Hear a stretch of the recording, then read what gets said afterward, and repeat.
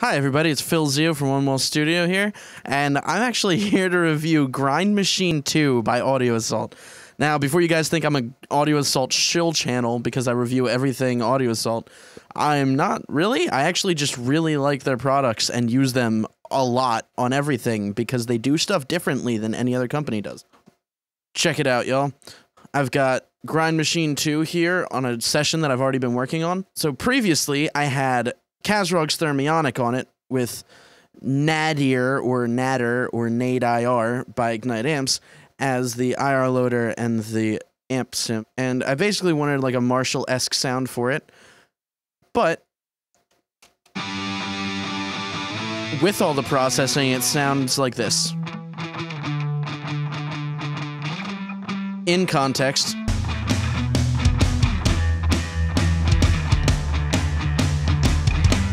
very punk sounding song. Artist was heavily inspired by U2. Now, the cool part is if I put these in solo again, you can really hear the difference that turning off all the processing makes from having just used Thermionic, a Rosen Digital cab sim. That's the raw tone.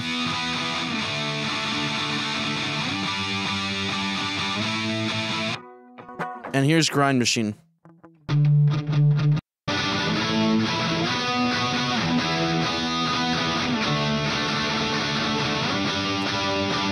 Now, in context,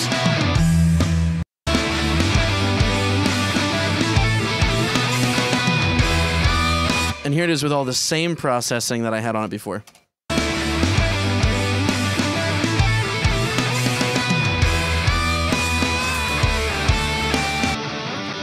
Now, you may think, huh, that sounds really weird. I don't know if that sounds better.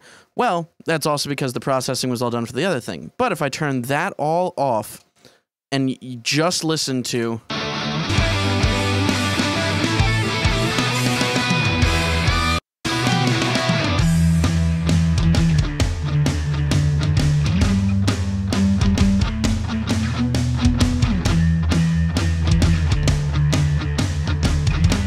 You get a feel for the dynamics of the imp. What's really cool about it is there's a whole bunch of options here in settings to tweak.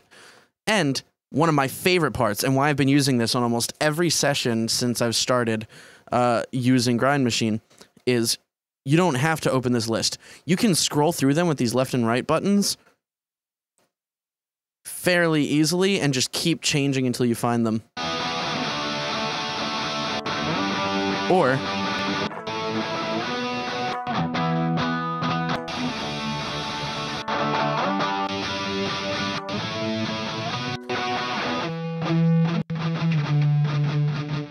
Now, if I were to load the default preset here,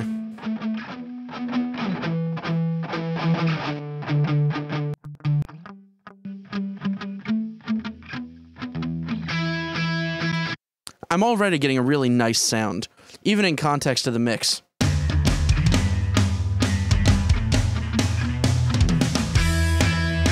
It sounds really nice, and I like it. You've got a whole bunch of solos, a whole bunch of lead stuff. You needed something that's going to be able to cut through while also le letting a lead step in when it has to. So far, I've found it's really amazing for that. Now, a couple of the things that I've been noticing is every single update since I got it has added something else. Now, originally it just came with the gate, pre cab impact buttons, all the knobs, obviously, but they added a tight button, which acts kind of like, to my ears, a tube screamer.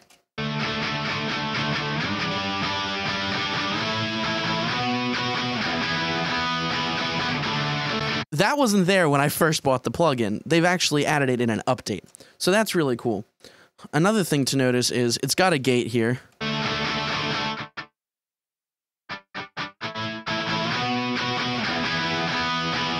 It's just a gate knob though, so you're basically adjusting it for level and that's it. It's set to work really well with stuff like this too. One thing I love doing, instead of stopping every couple of seconds, going back and finding a tone, is literally just looping one section. Say this section with very large dynamics changes right here.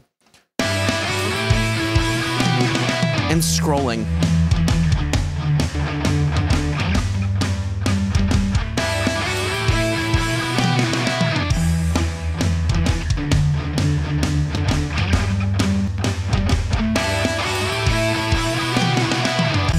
And then scrolling through the cabs.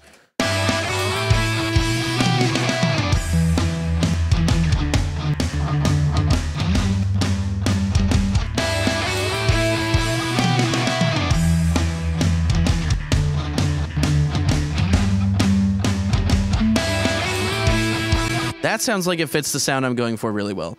Then I adjust the impact. Now, the impact is really interesting. Listen to what it does specifically to the low end.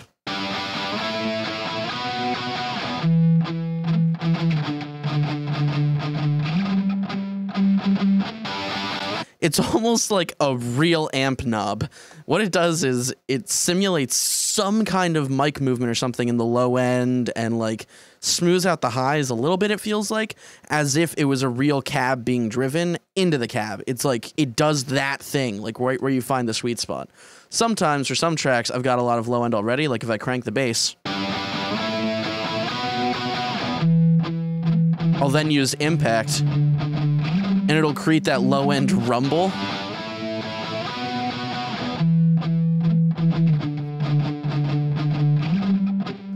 That woofy smear in the low end that I'd expect a real cab to have. So once I'm done all those things, I'd like to tweak.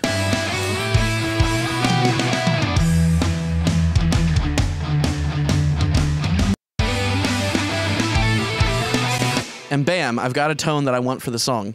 Let's see how close it is to the original tone that I had.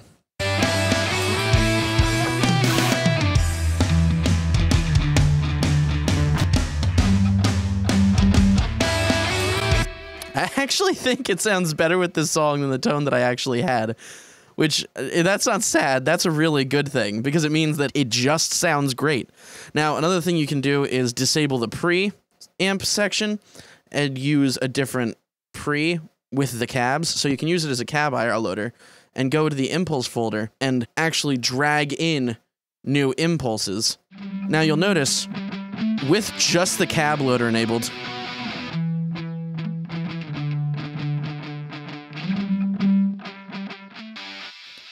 the bands actually become EQ bands. Not only that, but they become EQ bands that act as pass filters sometimes. So no bass, all mids. Only the mids are heard. Noon would be noon, so 0 dB cut, 0 dB boost. Gain does nothing because there's nothing.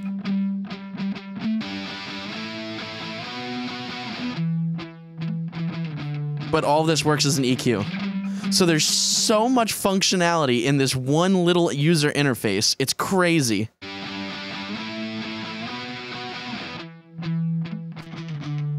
Personally, my favorite cab is Raunchy, but for some the mixes, other cabs just work so much better.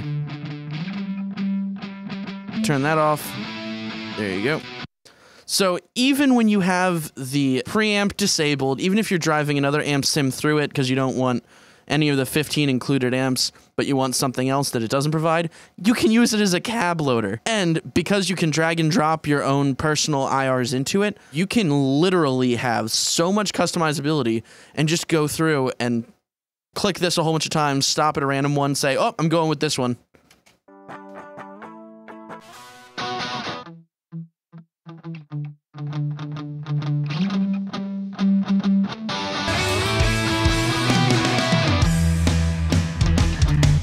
Boom, sounds great. That's how good this plugin is. Like, I, I don't know what to tell you guys. This is one of my shortest reviews ever because, in all honesty, all the things you can do with this plugin can be shown in such a short period of time, but it doesn't matter. It really does. It feels like plug and play all the way. I love this plugin to death. And honestly, I have mixed almost nothing recently using any plugins except this one for guitar tones. I can't explain to you how good it feels to be able to throw this on anything. Say, well, I don't even need that much processing on it. Maybe throw on a tape sim.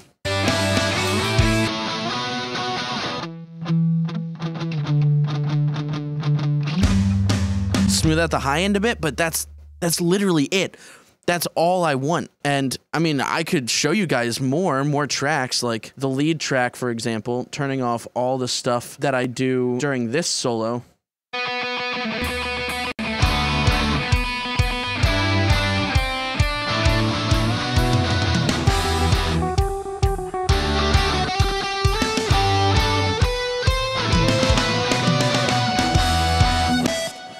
can even be said? That is an instant guitar tone. Let me turn off all processing except the delay.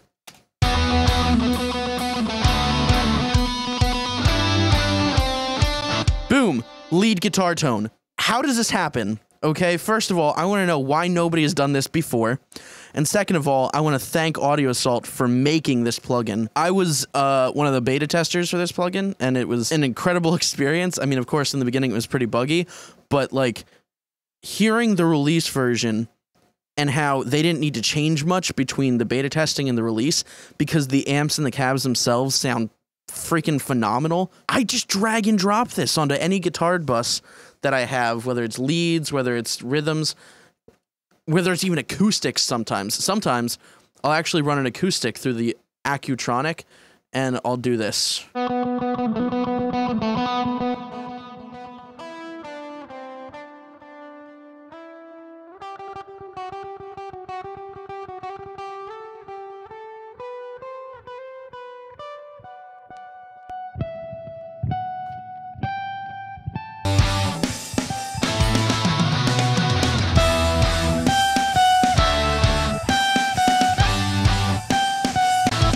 Like you can immediately get some really killer tones with this thing without having to mess with IRs, without having to mess with a drag and drop interface of any kind. I drop this in, press the right or left button until I find something I like, and it's done right there. And honestly, right now, it's on sale for $9. You cannot beat that quality for that price. I mean, eventually it'll be 50, which is even then a little low for what I feel like it's worth because I shot this out with Podfarm and a whole bunch of other plugins and it felt like a disservice to even compare it to anything else.